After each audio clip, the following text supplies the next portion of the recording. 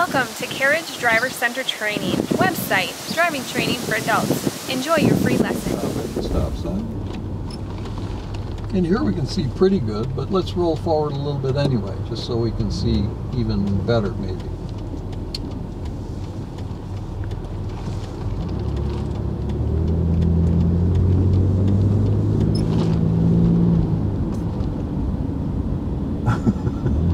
You're going by the walk sign, yes. I know. Uh, and make a lane change, like signal, mirror, mirror, blind spot. And then you can steer over.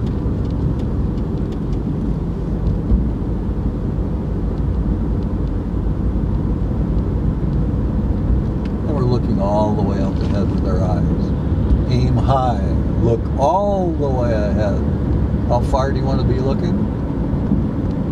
All the way. All the way. All the way. Go left at this light. But you have to keep your eyes moving though.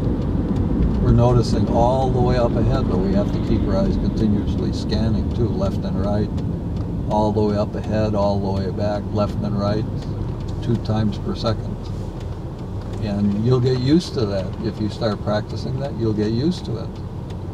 But here's the thing, Mike as human beings, we naturally move our eyes three and four times a second sometimes. You just do it automatically. You don't even know you're moving your eyes that fast. You just do it subconsciously.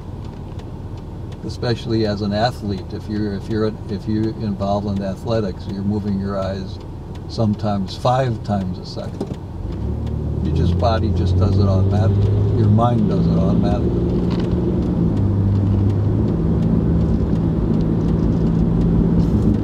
And at the lights, the stoplights up there might go left.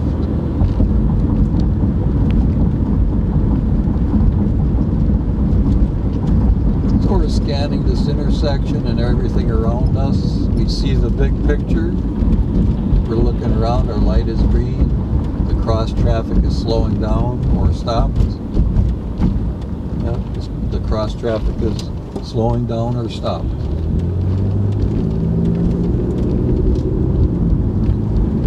looking all what color of the lights up there mike. Red. We're just noticing these things. We're just noticing what's what's way up ahead. But then we're also noticing everything else all at the same time. That's what we call the big picture. You ever hear that before mike? The big picture? Yes.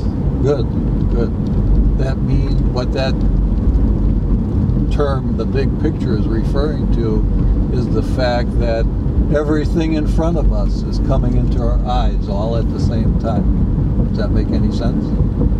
Yes. We can't look at everything at the same time, but we see everything. It's all coming into our eyes all at the same time. It's amazing the way God made our eyes. It's all coming into our eyes all at the same time. So, so we just happen to call that the big picture. So when you're driving a car, you want to be getting the big picture.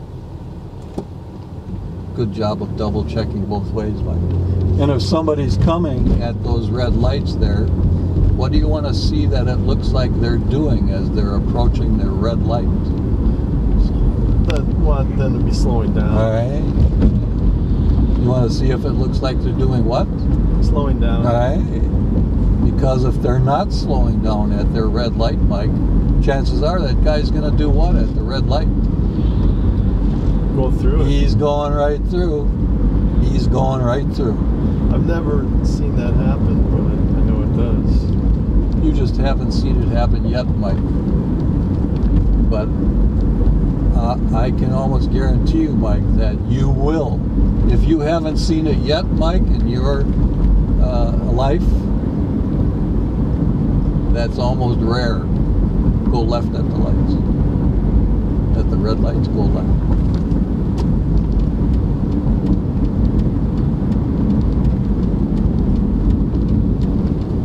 If you haven't seen it yet, Mike, then it's uh, you got a good chance you're going to see it soon.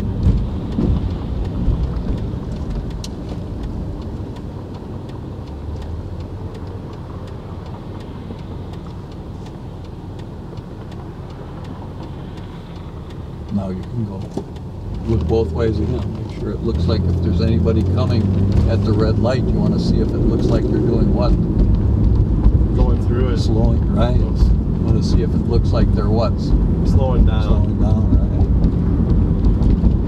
right? Because if they're not slowing down, chances are that guy's going to do what at the red light? Go through. He's going right through. So do you want to be able to see him coming, Mike? Yes. So that's why you have to look left, right, left, right. Does that make any sense? Yes. And you want to do that at how many intersections, Mike? Everyone. All of them, right? All of them. Because the intersection, there's the one most dangerous place on the whole road right there. Right where two roads cross each other, Mike. That's where 35% of all the accidents happen. More than one out of three accidents happen right at that tiny little spot. Right where two roads cross each other. And why is it that you need to look left first? The cars are coming from the left first. All right. So the way I teach my students about that, Mike, is is I always want to look left first because that's the guy that's going to hit me first. Does that make sense? Yes. And then and then why is it left, right, left, right? Why do you always want to end up looking this way last? Because that's the last spot you're crossing. Right. That's the guy that's going to hit me next. Capiche? Capiche. And later on, we might even tell a few Polish jokes. So we're looking all the way up ahead with our eyes, continuously scanning and searching for what?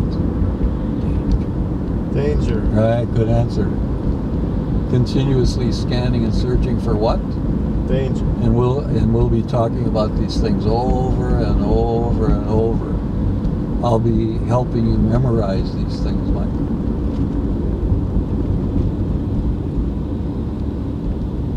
So we're just keep going over and over and over the same stuff every time we get together. So when you're sitting at an intersection like this, stay alert. Just be looking around just to just see what's going on. See what the condition of traffic is, see if there's any pedestrians or just to be in touch with what's going on here at this intersection. Notice how it's kind of hard to see to the left here. Yes. So as we, when when your light turns green and we start to go, we're going to look that way again as you start to pull out. Because those bushes are in the way. Left, right, left, right. He's coming, but he's slowing down. Because if he's not slowing down, chances are that guy's going to do what at the red light? Go through it. He's going right through. So do you want to be able to see him coming if he's not slowing down? Yes. So that's why you've got to look which way. Left and right. How many times? Twice each. At least twice. Left, right, left, right. We're looking all the way up ahead. We see the red lights. You see lots of trees on both sides of the road. One guy tailgating us back there. We just see that he's there. We're glancing in a rearview mirror every six to eight seconds. We just see that he's there. Doesn't matter what this guy that's tailgating you, Mike, doesn't matter what he thinks. No, No. no. We know what he thinks, Mike. We're just gonna I'm gonna stop teaching because we gotta check out this intersection. Doesn't matter what this guy that's gonna be tailgating you 98% of the time for the rest of your driving lifetime. Does it matter what he thinks? No. We know what he thinks. We know what he thinks. Faster. He wants to go faster and faster. Let's go. He wants me to go And faster. 98% of us are the same way. So a long time ago, Mike, I had to learn to control myself when I'm driving a car. Let's be one car length away. Yeah, one car length away, just to have a little extra space there. In that way, by being one car length away, whatever happens, you've got a little extra space there. And you'll be surprised one one day in your driving lifetime one day when the light turns green, he might he might not be able to move for some reason. And by being one car length away, then you've got room to get around him. So we're looking left and right, and left and right again.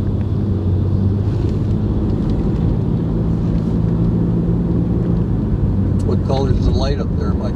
Green. Right. Good job of looking all the way ahead. But we have to be continuously scanning and searching too. Continuously scanning and searching with your eyes.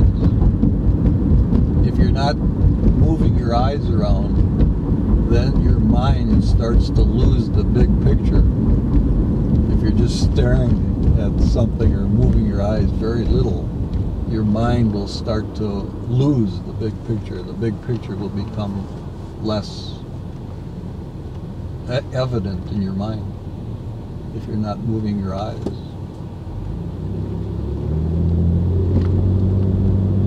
So aim high, look all the way ahead. Get the BP. What's the BP? Big picture. Right, good answer, Mike. And what's that third thing you want to be doing with your eyes? Two times per second. Keep your eyes um, moving. moving. keep your eyes moving. Okay. Right, how fast? Two times per second. Right, good answer. At least two times per second. Continuously scanning and searching for what?